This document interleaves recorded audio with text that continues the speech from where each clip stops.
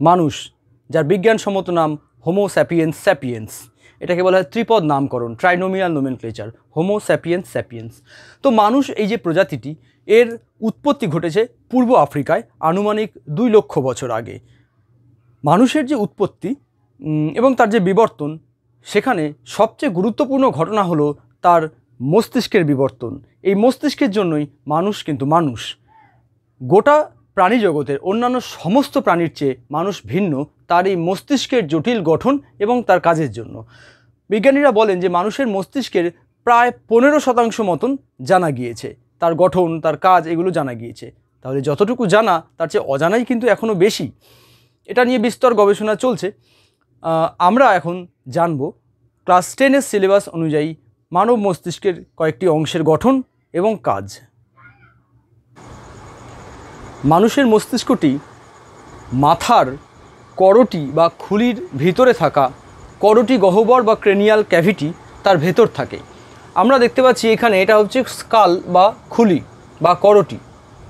এর ভিতরে থাকছে ক্রেনিয়াল ক্যাভিটি বা করটি গহ্বর, তার মধ্যে থাকছে মস্তিষ্ক। এই মস্তিষ্ক মেনিনজেস নামক একটি ত্রিস্তরীয় পর্দা দ্বারা ঘেরা। শুধু মস্তিষ্ক না, তার সঙ্গে সঙ্গে সুষুম্না কাণ্ড মস্তিষ্ক এবং সুষুম্না কাণ্ড মিলে হচ্ছে কেন্দ্রীয় স্নায়ুতন্ত্র। এই পুরো অংশটাই এই ত্রিস্তরীয় মেনিনজেস নামের পর্দা দিয়ে ঘেরা। মেনিনজেসের তিনটে স্তর, সবচেয়ে বাইরে ডুরা ম্যাটার, তার নিচে অ্যারাকনয়েড ম্যাটার, তার নিচে পায়া ম্যাটার। মস্তিষ্কের ওজন, গড় ওজন আমরা এখানে দেখছি, পুরুষদের ক্ষেত্রে তেরোশো সত্তর গ্রাম আর স্ত্রীদের ক্ষেত্রে বারোশো গ্রাম মতন। আয়তন, গড় আয়তন, পুরুষদের ক্ষেত্রে দেখতে পাচ্ছি বারোশো ষাট ঘন সেন্টিমিটার এগুলি কিউবিক সেন্টিমিটার হবে। এবং স্ত্রীদের ক্ষেত্রে সেটা এগারোশো তিরিশ ঘন সেন্টিমিটার বা কিউবিক সেন্টিমিটার আমরা এখানে দেখতে পাচ্ছি মস্তিষ্কের এই যে অঞ্চল, এটাই কিন্তু মস্তিষ্কের সবটা নয়, এর ভেতরে আরও বেশ খানিকটা অংশ আছে, আর খানিকটা অংশ বাইরে থেকে দেখা যাচ্ছে। এই যে অঞ্চল মস্তিষ্কের সবচেয়ে বড় অংশ এটা হচ্ছে গুরু মস্তিষ্ক বা সেরিব্রাম। এই গুরু মস্তিষ্কে আমরা প্রচুর ভাঁজ এবং খাঁজ দেখতে পাচ্ছি। এখানে এই যে খাঁজ অংশগুলো, অর্থাৎ এই যে একটা খাঁজ, এই খাঁজকে বলছি আমরা সালকাস। সিঙ্গুলারে সালকাস, প্লুরালে সালসি। দুটো সালকাসের মাঝখানে যে উঁচু অঞ্চল, তাকে বলা হচ্ছে গাইরাস বা জাইরাস, প্লুরালে গাইডি গুরু মস্তিষ্ক তার কতগুলো অঞ্চল থাকে, যেমন এইখানে এই অংশটা হচ্ছে, সামনের দিকটা হচ্ছে ফ্রন্টাল লোব এই পাশ, এই মাঝের জায়গাটা হচ্ছে, মাঝের অংশের একটু পরের দিকে প্যারাইটাল লোব এটা হচ্ছে অক্সিপিটাল লোব এবং এই যে পাশের দিকে বেরিয়ে থাকা অংশ, এটা হচ্ছে টেম্পোরাল লোব গুরু মস্তিষ্কের যেহেতু দুটো অর্ধগোলক আছে, এটা একটা অর্ধগোলক, এটা আমাদের এদিক থেকে দেখতে পাচ্ছি আমরা, এই টেম্পোরাল লোবটা এদিকে, ওপাশে আরেকটা অর্ধগোলক আছে, তার টেম্পোরাল লোবটা ওই দিকে আছে। এখান থেকে আমরা পন্স বলে একটা অঞ্চল, তার খানিকটা দেখতে পাচ্ছি, পন্স। এখানে দেখতে পাচ্ছি মেডালা অবলঙ্গটা বা সুষুম্না শীর্ষক, আর এইখানে দেখতে পাচ্ছি সেরিবেলাম বা লঘু মস্তিষ্ক। সেরিবেলাম বা বাংলায় হচ্ছে লঘু মস্তিষ্ক। এরপর এইখানে যে ছিদ্রপথটা দেখতে পাচ্ছি, করটির একটা ছিদ্রপথ, এই যে, এটাকে বলা হয় ফোরামেন অফ ম্যাগনাম। এই ফোরামেন অফ ম্যাগনাম থেকে সুষুম্না শীর্ষকের শেষ দিকটা শুরু হয়ে, সুষুম্না কাণ্ড হয়ে বেরিয়ে আসছে এবং প্রবেশ করছে, এটা হচ্ছে মেরুদণ্ড, তার ভেতরে যে ক্যানেল আছে তার মধ্যে প্রবেশ করছে, নিউরাল ক্যানেলের মধ্যে প্রবেশ করছে। এটা হচ্ছে প্রথম কশেরুকা, এটা দ্বিতীয় কশেরুকা, তৃতীয় কশেরুকা, অর্থাৎ সুষুম্না কাণ্ডটি এবার এই মেরুদণ্ডের ভেতর দিয়ে যাচ্ছে। এরপর আমরা দেখব মস্তিষ্কের অন্তর্গঠন, অর্থাৎ এই মস্তিষ্কটিকে লম্বচ্ছেদ করলে তার ভেতরের গঠন কেমন। আমরা এই ছবিতে দেখছি মানব মস্তিষ্কের লম্বচ্ছেদ। অর্থাৎ মানুষের মস্তিষ্ককে দুটি গুরু মস্তিষ্কীয় অর্ধগোলকের মাঝখান থেকে লম্বাভাবে কেটে একটি অংশকে আমরা এখানে দেখছি। যদি এরকমভাবে বলি যে মস্তিষ্কের এই দুটো হচ্ছে গুরু মস্তিষ্কের অর্ধগোলক দুটো, তো দুটো অর্ধগোলক এরকম আছে। তো আমি মাঝখান থেকে এভাবে কাটা হয়েছে, কেটে এই অংশটাকে সরিয়েছি। সরিয়ে এই একটি অংশ তার ভেতরটা কেমন সেটা আমরা এই ছবিতে দেখতে পাচ্ছি। মস্তিষ্কের তিনটে ভাগ, স্থূলভাবে ভাগ করে তিনটে ভাগ অগ্র মস্তিষ্ক মধ্য মস্তিষ্ক এবং পশ্চাৎ মস্তিষ্ক এই অগ্রমস্তিষ্ক বা ফোর ব্রেন বা প্রোসেনসেফালন তার সবচেয়ে বড় অংশ হচ্ছে গুরু মস্তিষ্ক বা সেরিব্রাম যেটা আমরা এই অংশটা দেখতে পাচ্ছি। প্রাণী জগতের মধ্যে মানুষের মস্তিষ্কেরই গুরু মস্তিষ্কের আয়তন সবচেয়ে বেশি এবং মানে সমগ্র মস্তিষ্কের তুলনায় আয়তন বেশি বলব। এবং সবচেয়ে জটিল, অনেক বেশি ভাঁজযুক্ত, গঠনগতভাবে অত্যন্ত জটিল। এখানে এই কথাটা মনে রাখতে হবে যে আমি একটি হাতির গুরু মস্তিষ্কের তুলনায় একটি মানুষের গুরু মস্তিষ্কের আয়তনের তুলনা করে যদি দেখি যে হাতির গুরু মস্তিষ্ক আকারে বড় এবং বলি যে মানব জগতের মধ্যে মানে সরি প্রাণী জগতের মধ্যে স্থলবাসী প্রাণী জগতের মধ্যে, জলবাসী হলে তিমি আছে। তো তার ক্ষেত্রে হাতির মস্তিষ্ক, গুরু মস্তিষ্ক সবচেয়ে বড়। তা কিন্তু নয়। এখানে যেটা আলোচনার বিষয়, সেটা হচ্ছে গোট মস্তিষ্কের সামগ্রিক আয়তনের তুলনায় গুরু মস্তিষ্কের আয়তন। এইটা যদি বিবেচনা করি, দেখব প্রাণী জগতের মধ্যে মানুষের ক্ষেত্রে এই অনুপাতটা মানে গুরু মস্তিষ্কের আয়তনটা একটু বেশি। গুরু মস্তিষ্ক বা সেরিব্রাম দুটি সেরিব্রাল হেমিস্ফিয়ারে বিভক্ত। প্রতিটি সেরিব্রাল হেমিস্ফিয়ার তার পরিধির দিককে বলা হয় সেরিব্রাল কর্টেক্স অর্থাৎ আমরা যদি একটু রং দিয়ে চিহ্নিত করতে চাই, তাহলে এইভাবে আমরা দেখব যে এই পরিধির দিক, এটা হচ্ছে সেরিব্রাল কর্টেক্স অঞ্চল। যে কোনো অঙ্গের ক্ষেত্রে কর্টেক্স মানেই সেটা বাইরের দিক বা পরিধির দিক হয় এবং মেডালা অঞ্চলটা হয় সবসময় ভেতরের দিক। যেহেতু গুরু মস্তিষ্ক বা সেরিব্রাম তার পরিধির দিকটি অবশ্যই সেরিব্রাল কর্টেক্স হবে। সেরিব্রামের পরিধির দিক সেরিব্রাল কর্টেক্স এবং মাঝখানের যে এই অংশটি, এই অংশটিকে বলা হয় সেরিব্রাল মেডালা অঞ্চল। আমরা এখানে সেরিব্রাল কর্টেক্স অঞ্চলটিকে এইভাবে লাল দাগ দিয়ে চিহ্নিত করলাম সেরিব্রাল কর্টেক্স এই সেরিব্রাল কর্টেক্স অঞ্চল, এটা তৈরি হয় গ্রে ম্যাটার বা ধূসর বস্তু দিয়ে। গ্রে ম্যাটার এই অঞ্চলটা, আর এখানে হচ্ছে হোয়াইট ম্যাটার দিয়ে তৈরি হচ্ছে আমাদের যে গরু মস্তিষ্কের মেডালা অঞ্চল সেইটি। এখন এই গ্রে ম্যাটার এবং হোয়াইট ম্যাটার জিনিসটা কি? গ্রে ম্যাটার অঞ্চল, এটা তৈরি হয় নিউরনের কোষ দেহ। আমরা নিউরন এই চ্যাপ্টারেই আমরা পড়েছি, তো সেখানে নিউরন এর কথা আমরা জানি। নিউরনের এই যে কোষ দেহ অঞ্চল, যেখান থেকে ডেনরন আর অ্যাকশনের উৎপত্তি ঘটে, তো এই নিউরনের কোষ দেহগুলো যেখানে থাকে এবং মাইলিন আবরণবিহীন কিছু অ্যাকশন সেইগুলি এই অঞ্চলে থাকতে পারে। ধূসর বস্তু যেখানে আছে, অর্থাৎ কর্টেক্স অঞ্চল, সেখানে থাকতে পারে। আর যেখানে হোয়াইট ম্যাটার, এই অংশ, সেই অংশটা তৈরি হয় মাইলিন আবরণযুক্ত যে অ্যাকশন তাদের সমন্বয়ে। মাইলিন আবরণযুক্ত অ্যাকশনের সমন্বয়ে তৈরি হয় এই হোয়াইট ম্যাটারযুক্ত মেডালা অঞ্চল। যেখানে এই গ্রে ম্যাটার, সেই অঞ্চলগুলি বিশ্লেষণাত্মক কাজ, অর্থাৎ কোনো ইনফরমেশন ব্রেনে আসার পর তার অ্যানালিসিস এবং রেসপন্স বা সারা তৈরি করা, এই কাজটা মেইনলি এই কর্টেক্স অঞ্চল করে, কারণ এখানে গ্রে ম্যাটার বা ধূসর বস্তু আছে।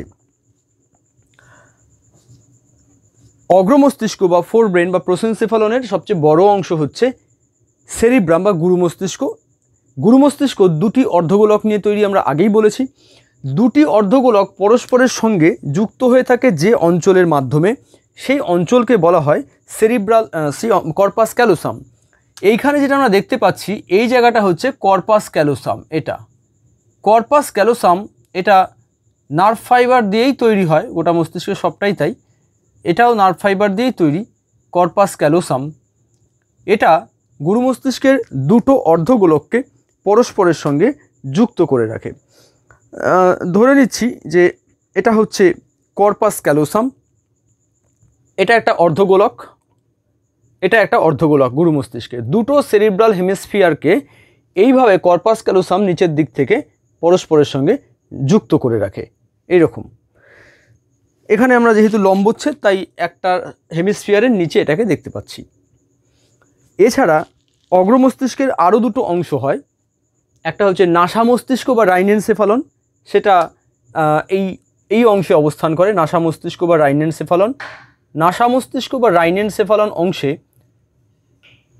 অলফ্যাক্টরি নার্ভ এসে যুক্ত হয়। এই অংশটি হচ্ছে রাইনেনসেফালন বা নাসা মস্তিষ্ক। এখানে আমরা কি বললাম যে অলফ্যাক্টরি নার্ভ যেটা আমাদের নাকের ঘ্রাণঝিল্লি থেকে উৎপন্ন হয়, এটা একটা সংজ্ঞাবহ স্নায়ু, সেই ঘ্রাণঝিল্লি থেকে উৎপন্ন হয়ে এখানে এসে অলফ্যাক্টরি বাল্ব তার সঙ্গে যুক্ত হয়।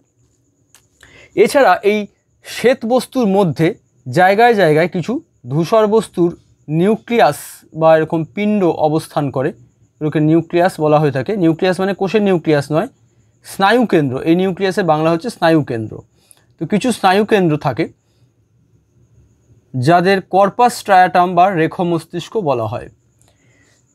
তারা গুরু মস্তিষ্কে ধূসর বস্তু শ্বেত বস্তুযুক্ত যে মেডালা অঞ্চল, তার মাঝে মাঝে অবস্থান করে। তাহলে কি কি অংশ পেলাম? অগ্র মস্তিষ্কের অ্যাকচুয়ালি দুটো অংশ, টেলেনসেফালন এবং ডায়েনসেফালন।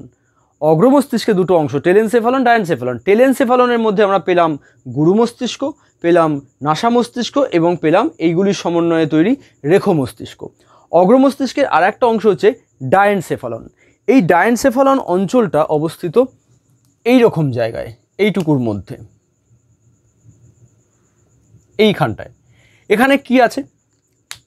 এখানে আছে থ্যালামাস হাইপোথ্যালামাস এপিথ্যালামাস এবং মেটাথ্যালামাস এখানে যেটা এঁকেছি, এটা হচ্ছে মস্তিষ্ক প্রকোষ্ঠ, যেটা নিয়ে আমরা শেষে আলোচনা করব। মস্তিষ্কে অ্যাকচুয়ালি চারটে প্রকোষ্ঠ থাকে। গুরু মস্তিষ্কের দুটো অর্ধগোলকে দুটো প্রকোষ্ঠ আছে। এখানে একটা প্রকোষ্ঠ আছে, এখানে একটা প্রকোষ্ঠ আছে। এই যে প্রকোষ্ঠ, এটা তৃতীয় প্রকোষ্ঠ। তৃতীয় প্রকোষ্ঠের দুই পাশে দুটি থ্যালামাস থাকে, ডিম্বাকার থ্যালামাস আমি এখানে এটাকে ঢেকে দিচ্ছি, কারণ এখানে থ্যালামাস থাকে। এখানে থাকে থ্যালামাস ডিম্বাকার এরকম অঞ্চল। এটা হচ্ছে থ্যালামাস থ্যালামাসের নিচের অঞ্চল, অর্থাৎ এই অঞ্চলটি, এটা যদি আমি থ্যালামাস বলে পয়েন্টিং করি, তাহলে এর নিচের এই অংশটি হচ্ছে হাইপোথ্যালামাস উপরে থাকে এপিথ্যালামাস এবং একে বেষ্টন করে থাকে মেটাথ্যালামাস অর্থাৎ আমি যদি অন্যভাবে এটাকে বোঝাই, যে যে কোনো একটা কিছু আমি স্ট্রাকচার দিই যদি এটাকেই ধরে নিই যে এটা একটা থ্যালামাস তাহলে এর ওপরে হচ্ছে এপিথ্যালামাস নিচে হাইপোথ্যালামাস আর একে ঘিরে থাকছে মেটাথ্যালামাস আমাদের এই ক্লাস অনুযায়ী থ্যালামাস এবং হাইপোথ্যালামাস এই দুটো অংশই দরকার। আমরা এখানে দেখলাম এদের অবস্থান। কাজগুলো আমরা একদম শেষে আলোচনা করব। এর মধ্যে থ্যালামাসের সঙ্গে, এই হাইপোথ্যালামাসের সঙ্গে এটা হাইপোথ্যালামাসের জায়গাটা, তার সঙ্গে দেখতে পাচ্ছি আমরা পিটুইটারি গ্রন্থি যুক্ত এটা হচ্ছে পিটুইটারি গ্ল্যান্ড যেটাকে মাস্টার গ্ল্যান্ড বলা হয়ে থাকে। তা নিয়ে অনেক আলোচনা চলতে পারে, কিন্তু মাস্টার গ্ল্যান্ড বা পিটুইটারি গ্ল্যান্ড সেটা হাইপোথ্যালামাসের সঙ্গে যুক্ত অবস্থায় আছে। এরপরে মস্তিষ্কের এই টু পার্সেন্ট টোটাল ব্রেনের টু পার্সেন্ট মাত্র, এই অংশটাটুকু হচ্ছে মিড ব্রেন বা মধ্য মস্তিষ্ক এইটুকু অংশ। এটা হচ্ছে মধ্য মস্তিষ্ক। মিড ব্রেন এখানেও যেটা মেসেনসেফালনও বলা যায়। অ্যাকচুয়ালি কেফালন এটা একটা ল্যাটিন শব্দ, যার মানে হচ্ছে ব্রেন তো সেখান থেকে ইংরেজিতে সেফালন কথাটা এসছে।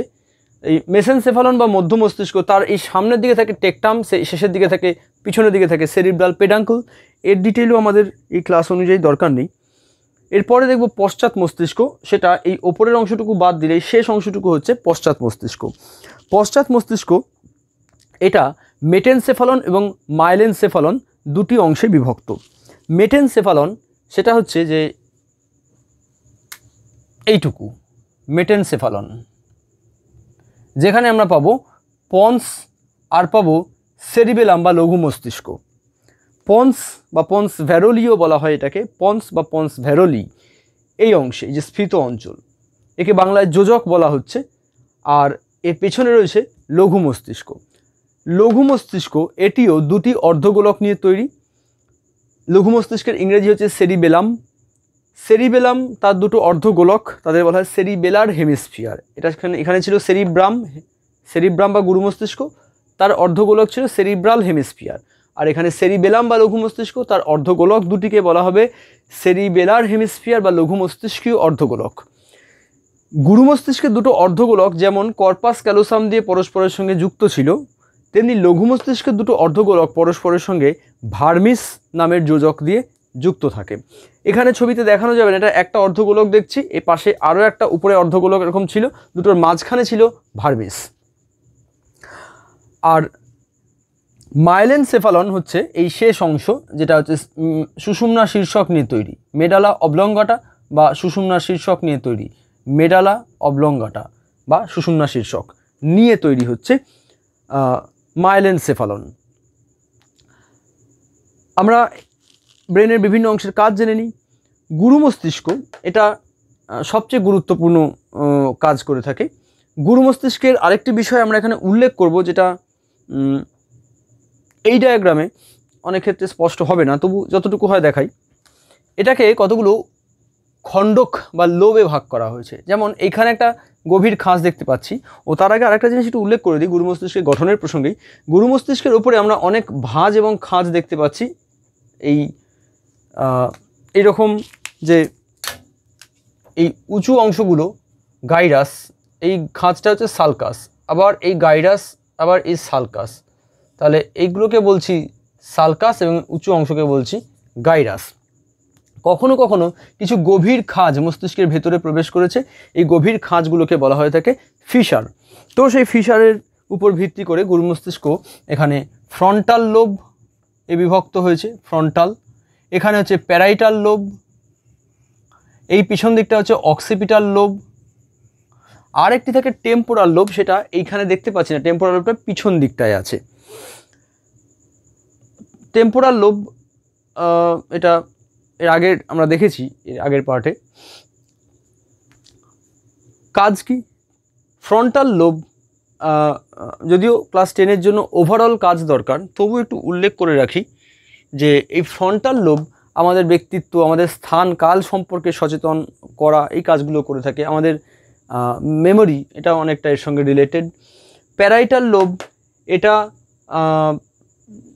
এটাও ব্যক্তির ওই আবেগজনিত যে কাজকর্মগুলি, সেইগুলি নিয়ন্ত্রণ করে। ফ্রন্টাল লোবেরই আবার এই অংশে ঘ্রাণ কেন্দ্র থাকে, অর্থাৎ ঘ্রাণের অনুভূতি গ্রহণ করা হয়। অক্সিপিটাল লোব এখান থেকে দর্শন কেন্দ্র, অর্থাৎ আমরা যে দেখব, কীভাবে দেখব? আমাদের অপটিক স্নায়ু চোখ থেকে উৎপন্ন হয়ে প্রথমে থ্যালামাসে আসে, তারপর থ্যালামাস থেকে এই অক্সিপিটাল লোবে পৌঁছায়। তার ফলে আমরা দেখতে পারি, এখানে আছে দর্শন কেন্দ্র। একইভাবে টেম্পোরাল লোব যেটা এই পিছন দিকটায় আছে বা এই রকম যদি এখানে একটা থাকতো, তাহলে এখানে পাশ থেকে এরকম টেম্পোরাল লোভ বেরিয়ে থাকতো, সেটা আমরা আগে ছবিতে দেখেছি। টেম্পোরাল লোভে থাকে বাক কেন্দ্র, যার মাধ্যমে আমাদের কথা তৈরি হয়। থাকে শ্রুতি কেন্দ্র, যার মাধ্যমে আমরা শুনতে পারি। মেমোরি বা স্মৃতি, এটা কিন্তু এই ফ্রন্টাল লোভ দ্বারা কন্ট্রোল হয়ে থাকে। এটা হচ্ছে গুরু মস্তিষ্কের বিভিন্ন অংশের কাজ। থ্যালামাস কী করে? থ্যালামাস একটা রিলে সেন্টার হিসেবে কাজ করে। এর আগেই বলেছি যে চোখ থেকে অপটিক স্নায়ু প্রথমে এইখানে আসে তারপর এখান থেকে এখানে যায়। ফলে রিলে সেন্টার হিসেবে কাজ করে। আর এই থ্যালামাস কোনো প্রাণীকে ঘুম থেকে জেগে ওঠার পরে তার কোন জায়গায় আছে এবং কোন সময় সে বিরাজ করছে, এই এই যে ব্যাপারগুলো, অর্থাৎ ঘুম থেকে ওঠার পরে তার স্থান, কাল এগুলো সম্পর্কে বুঝতে কিন্তু সাহায্য করে থ্যালামাস এছাড়া প্রেরক স্থানের কথা আমরা আগেই বললাম যে অন্যান্য অনেক স্নায়ু, শুধু অপটিক স্নায়ু কারণ এরকম অনেক স্নায়ু থ্যালামাসে এসে তারপরে অন্যান্য অংশে যায়। আচ্ছা এছাড়া ক্রোধ বা রাগ এবং পীড়ন বা মানসিক চাপ, এই সমস্ত সংক্রান্ত যে প্রতিবর্তক ক্রিয়া বা রিফ্লেক্স অ্যাকশন, অর্থাৎ তাৎক্ষণিক সাড়া দেওয়া, সেইগুলো থ্যালামাস নিয়ন্ত্রণ করে। হাইপোথ্যালামাস আমরা এখানে দেখেছি আগে ছবিতে। কি করে? হাইপোথ্যালামাস এটা সংবেদী এবং পরাসংবেদী দুরকম স্নায়ুতন্ত্রকে নিয়ন্ত্রণ করে। সংবেদী এবং পরাসংবেদী স্নায়ুতন্ত্র কি? না, আমাদের মস্তিষ্ক এবং সুষুম্না কাণ্ড থেকে বেরোনো বেশ কিছু স্নায়ু, তারা আমাদের আন্তর্যন্ত্র, দেহের ভেতরকার অঙ্গ প্রত্যঙ্গগুলোর যে অনৈচ্ছিক কাজ, সেগুলোকে নিয়ন্ত্রণ করে। ওদের সংবেদী এবং পরাসংবেদী দুভাগে ভাগ করা হয়। তো তাদের কাজগুলো হাইপোথ্যালামাস কিছুটা নিয়ন্ত্রণ করে। এছাড়া কি হয়? আমাদের ক্ষুধা, তৃষ্ণা মানে আমাদের খিদের অনুভূতি তৈরি হওয়া, জল তেষ্টা পায়, সেই অনুভূতি তৈরি হয় যে তেষ্টা পাচ্ছে। আবার জল বা খাবার খাওয়ার পরে এই যে জল তেষ্টা বা খিদের অনুভূতিটা কমে গেল, অর্থাৎ নিবৃত্তি হলো, সেটাও কিন্তু হাইপোথ্যালামাস নিয়ন্ত্রণ করে। এছাড়া হাসি, কান্না এরকম মানসিক আবেগ, সেটাও হাইপোথ্যালামাস নিয়ন্ত্রণ করে। মধ্য মস্তিষ্ক, এই যে অংশটি, এটা কিছুটা দর্শন এবং শ্রবণের কাজের সঙ্গে রিলেটেড নিয়ন্ত্রণ করে খানিকটা। এছাড়া অক্ষিগোলকের বিচলন, অর্থাৎ আমাদের যে চোখ, আমরা মাথা না ঘুরিয়ে শুধু চোখটাকেই এদিক ওদিক ঘুরিয়ে আমাদের সামনে অনেক কিছুকে দেখতে পারি। এই যে চোখটা ঘোরানো, অর্থাৎ অক্ষিগোলকের বিচলন, এটা কিন্তু মধ্য মস্তিষ্ক নিয়ন্ত্রণ করে। আর আলোক প্রতিবর্ত নিয়ন্ত্রণ করে। আলোক প্রতিবর্ত মানে চোখে আলো পড়লে চোখের পাতা বন্ধ হওয়া এই ব্যাপারটা কিন্তু আলোক প্রতিবর্ত এটা মধ্য মস্তিষ্ক নিয়ন্ত্রণ করে। পন্স বা যোজক, এই অংশটি এখানে মূত্রনালী নিয়ন্ত্রক স্নায়ুকেন্দ্র থাকে, যেটা মূত্রথলির মধ্যে যে ডেট্রুসার পেশি থাকে, সেটা সংকোচন ঘটিয়ে মূত্রত্যাগে সাহায্য করে। তার মানে পন্সে থাকা স্নায়ুকেন্দ্র মূত্রথলির ডেট্রুসার পেশির সংকোচন ঘটিয়ে মূত্রত্যাগে সাহায্য করে। এছাড়া পন্সে একটি শ্বাসকেন্দ্রও থাকে এই অংশে। এই শ্বাসকেন্দ্রটি কী করে? শ্বাসক্রিয়ার হার নিয়ন্ত্রণ করে। আমরা মিনিটে চোদ্দ থেকে আঠেরো বার এই শ্বাস গ্রহণ আর ত্যাগ মিলিয়ে যদি একবার ধরি শ্বাস গ্রহণ আর ত্যাগ, প্রশ্বাস নেওয়া, নিঃশ্বাস ছাড়া। মিলিয়ে একবার যদি ধরি, তাহলে মিনিটে চোদ্দ থেকে আঠেরো বার অ্যাভারেজ এটা গড়ে হয় স্বাভাবিক পরিস্থিতিতে। তো সেটাকে নিয়ন্ত্রণ করে কিন্তু এই পন্স অঞ্চল। লঘু মস্তিষ্ক এইটি সেরিবেলাম, দেহের ভারসাম্য নিয়ন্ত্রণ করে এবং কিছু কিছু প্রত্যাবর্তী স্নায়ুকেন্দ্র রূপে কাজ করে। অর্থাৎ কিছু স্নায়ু এইখানে এসে তারপর গুরু মস্তিষ্কে যায়, এমনও হয়। ফলে প্রত্যাবর্তী স্নায়ুকেন্দ্র হিসেবে কাজ করে। আর সুষুম্না শীর্ষক বা মেডালা অবলঙ্গাটা এই অঞ্চলটি। এইটি হৃদ হৃদপিণ্ডের ক্রিয়া হৃদক্রিয়া মানে হৃদপিণ্ডের যে কাজের হার সেটাকে নিয়ন্ত্রণ করে। শ্বাসক্রিয়া নিয়ন্ত্রণ করে, আমাদের শ্বাসের গভীরতা, যে ডিপ ব্রিদিং করা, সেটাকে সুষুম্না শীর্ষক নিয়ন্ত্রণ করে। আর আমাদের ঘাম নিঃসরণ বা পার্সপিরেশন, সেটা এ নিয়ন্ত্রণ করে। এছাড়া রক্তচাপ নিয়ন্ত্রণের কাজেও কিন্তু মেডাল অবলঙ্গটা বা সুষুম্না শীর্ষক বেশ খানিকটা করে থাকে। তাহলে আজ আমরা এই পর্যন্ত কি আলোচনা করলাম? মস্তিষ্কের অবস্থান, মস্তিষ্কের আয়তন ও ওজন, মস্তিষ্কের বিভিন্ন অংশের গঠন ও কাজ, আর গুরু মস্তিষ্ক, লঘু মস্তিষ্কের পার্থক্য, এই যা আমরা আলোচনা করেছি সেখান থেকে কিন্তু পেয়ে যাব। আমি সংক্ষেপে একটু বলে নিই। গুরু মস্তিষ্ক অগ্র মস্তিষ্কের অংশ, আর লঘু মস্তিষ্ক কোথায় ছিল? পশ্চাৎ মস্তিষ্কের অংশ। গুরু মস্তিষ্কের দুটো অর্ধগোলক ছিল। তাদের যোজকের নাম ছিল কর্পাস ক্যালোসাম। লঘু মস্তিষ্কের দুটো অর্ধগোলকের যোজকের নাম কি ছিল? ভার্মিস। গুরু মস্তিষ্কের আয়তন লঘু মস্তিষ্কের চেয়ে অনেকটা বড়, আর লঘু মস্তিষ্কের আয়তন গুরু মস্তিষ্কের চেয়ে অনেকটা কম। গুরু মস্তিষ্ক এটা এর যদি কাজ বলি বহু রকম কাজ। দর্শন, শ্রবণ, চাপ, তাপ ইত্যাদি, অনুভূতি লাভ করা, স্মৃতি, বুদ্ধি ইত্যাদি। আর লঘু মস্তিষ্কের প্রধান কাজ কিন্তু দেহের ভারসাম্য রক্ষা করা। তো এই পর্যন্ত হলো আমাদের আজকের আলোচনা। যদি কারুর এই টপিক থেকে বুঝতে কিছু অসুবিধা থাকে, তাহলে অবশ্যই কমেন্ট বক্সে আমাকে প্রশ্ন করবে। আমি চেষ্টা করব এই সমস্ত প্রশ্নের উত্তর দেওয়ার।